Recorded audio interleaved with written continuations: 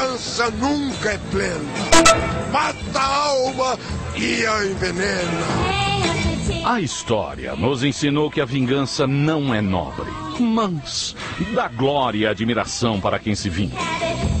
É por isso que até hoje o ser humano ofendido guarda sua ira e deixa que ela fermente no sangue até virar ódio puro.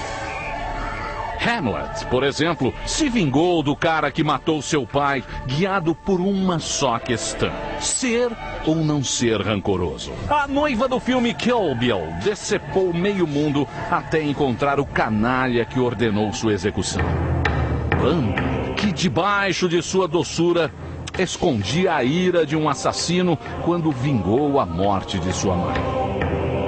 E se todas essas pessoas tiveram a chance de dar o troco, que Edson deveria ter compaixão? Esse vagabundo deveria ser condenado à pena de morte. Mas antes de saber como vai terminar essa história, vamos relembrar como chegamos até esta situação deplorável.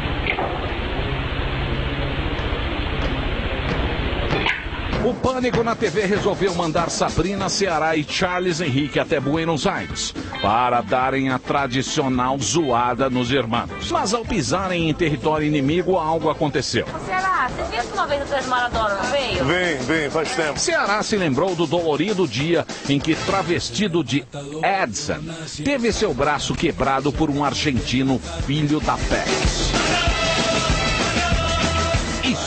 Foi há cinco anos atrás. Há cinco anos. Se o É um drama, se o é um telespectador. drama. Peraí.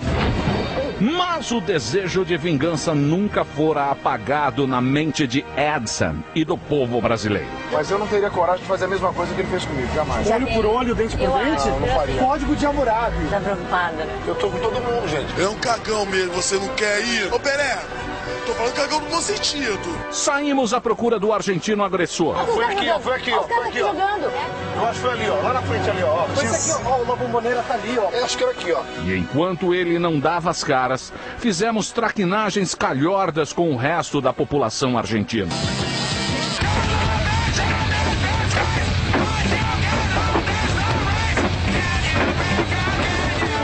Como a história não estava dando em nada, resolvemos infiltrar no campo do Boca um argentino de caráter negociável.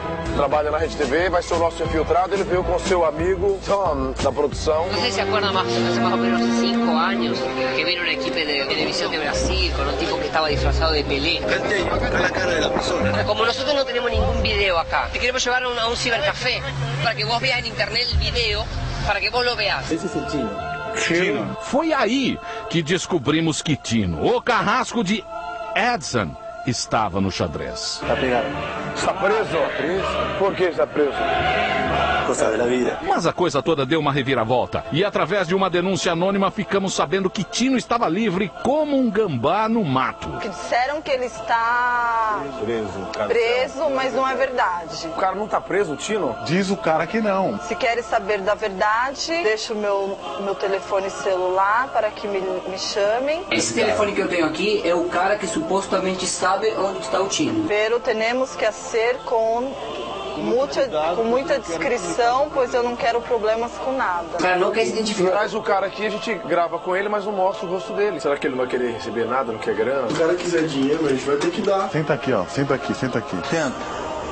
Aí, criança. Não fala pro cara que ele vai aparecer, hein, meu. Hola. Hola. Sí, Martín te habla. ¿Cómo andás? ¿Cómo andás? De acá del programa Pánico de Brasil. ¿Te acordás, gente? Sí, sí, sí, sí.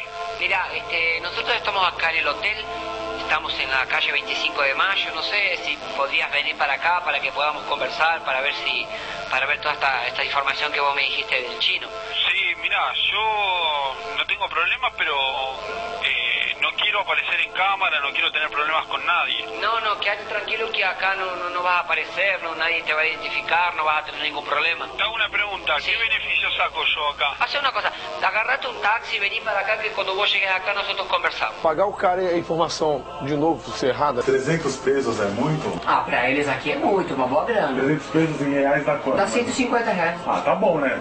Ó, roubei o chocolate do seu pai. Fica à vontade. Você é mal de argentino. Sim, caro, tele, Speck, depois de semanas de buscas, Adson finalmente vai tirar este engodo da alma e acertar as contas com o argentino que quebrou seu braço. É hoje, definitivamente, o último episódio de A Vingança de Edson. Sí. Sí, ¿Estás acá cerca? Ah, está en la esquina.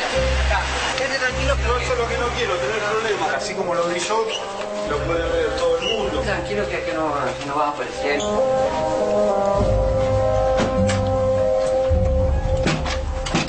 No, no, cámara no, cámara no. Espera, espera, espera, espera. Calma, calma, calma. Otra, vaya. No te vamos a filmar, no es de la policía, de un programa de televisión. Sí, pero yo no quiero tener ningún Te problema. vamos a ayudar con una plata, con Não vai mostrar o rosto. não. É só pra conversar com a gente. Esse favor, eu Eu não quero aparecer em Não, câmera, nada. Por míseros 150 pratas, o falido argentino aceitou caguetar Tino, dando informações quentes sobre o cara. Mira, la persona que era usted le dijo que el chino estaba preso, les mintió. Chino está preso acá. Entró por esto, ¿me entendés? Chino no es el que está preso. Qual o nome do vagabundo que foi preso? Carlitos el que está preso. Carlitos é o primeiro que entrou que eu saí. El foi na minha que perna. bateu, que É. entrou que ele que tá preso e que o Tino tá solto. Tino é o que seu? É amigo? É primo? É. Yo conozco a Chino de jugar a la pelota ahí con él. Yo tengo la dirección y el teléfono. Ah, buenísimo. Hola, Hola, ¿sí quién habla? Chino. ¿Chino? Sí. ¿Quién habla? Legal, legal, legal, legal, legal. Então é o seguinte, vamos lá na casa do cara. Tem que levar essa mochila, filho, essas coisas aqui? É bom levar tudo, já pega tudo. Com o endereço em mãos, nossa equipe parte para a casa de Tino, levando de presente duas belas surpresas. Qual o seu nome? Yasmin. Dá uma voltinha na Yasmin. Qual o seu nome? Jennifer. Yasmin Jennifer. Mas me dá o RG, por favor. Olha o nome dela. Idiberto Vilton. Vocês estão preparados? Aliás, preparadas? Sim, muito. Qual será a vingança de Edison? Vamos achar esse cretino que quebrou meu braço há cinco anos. Como é que a gente vai fazer? Vocês dois estão sabendo já, mais ou menos. Vocês vão tentar pegar o Tino na hora que ele descer da casa dele. Vocês vão chegar, tipo, bater um papo com ele, meio que, sabe, tentar seduzi-lo. Onde ele for, vocês vão acompanhá-lo. A gente vai ficar aqui de campana, se for necessário, até o cara sair. Vocês são duas gatas. Hum! Então não fica muito olhando pro cara incisivamente. Duas uma vez, o cara pode, Senão né? o cara vai achar muito esquisito. Eu acho que uma sugestão de papo, assim, é legal. Vocês, tipo, bancarem a turista que tá perdida. Queria comer alguma coisa, me falaram do Caminito. Guardem esse nome. Legal. Vou tirar a roupa do Pelé agora, vou ficar paisana, pra não chamar muita atenção, entendeu? Ó, então agora vamos pra casa do cara, né? Vamos lá fechar a porta, vamos embora, vai, vai, vai. Olha ali é a porta da casa do Tino ali, tá vendo? Depois da nossa equipe esperar horas na frente da casa de Tino, o safado finalmente sai da toca. Ele saiu daquela casa lá. Será que é ele? É ele, será? Será que é ele? Saiu um cara de lá. Fecha mais, Betão. Não, vai, vem, vem, assim, não. Eu vou descer lá, cadê o Tom? Vai, vai, vai, o Tom tá lá, o Tom tá lá. Cuidado, Ceará, cuidado. Agora vai! Atente para o esquema. Tom, o estagiário da produção, vai na cola de Tino com uma pequena câmera de mão. Logo atrás, Idverson e Wilton, as gatas da história. Dando cobertura no esquema, Ceará. E em um canto ali perto, dentro do ônibus, está nossa equipe filmando tudo.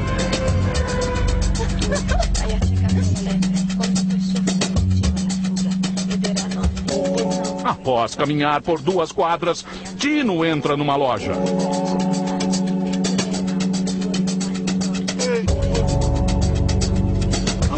Boa, velho. Cara, dá pra ver eles lá, ó. É uma padaria. É tipo, é como se fosse padaria, mas faz doces, tem pão. Ah, vá.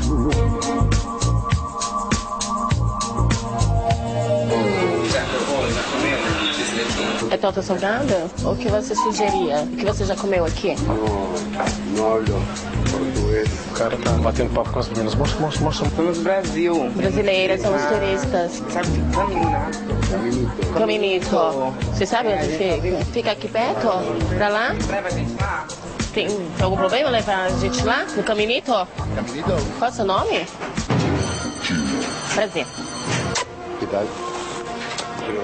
Vamos passar na vida? Sim. Não ouvi nada que eles falaram, viu?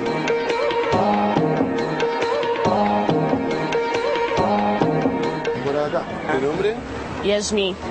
Jennifer. Você mora aqui mesmo? Muito tempo? Nasceu aqui? Sim, sim. Nunca foi no Brasil? Não. Quantos anos tens? Anos, 18. Nossa equipe acompanha à distância Tino e as duas garotas e de repente o trio entra num restaurante. Será que o argentino vai degustar uma picanha brasileira? Fala, Clebinho. Eu achei aqui o restaurante, ó. A gente tá chegando aí. Vem pra cá, tenta pegar uma mesa no cantinho e abaixa a câmera, não deixa o cara vir, não.